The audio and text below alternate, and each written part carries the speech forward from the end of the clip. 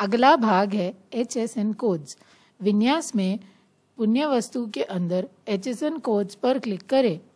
इस स्क्रीन का उपयोग उन वस्तुओं को देखने के लिए किया जाता है, जिन्हें जीएसटी के साथ एच एस एन कोड सौंपे गए हैं और उन आइटम को जीएसटी के साथ एच एस एन कोड भी सौंपा किया जा सकता है। एच एस एन कोड जोड़ने के लिए जीएसटी मूल्यों के साथ एच एस एन कोड दर्ज करें और C G S T S G S T I G S T के मूल्य दर्ज करें। सहेजे बटन पर क्लिक करें।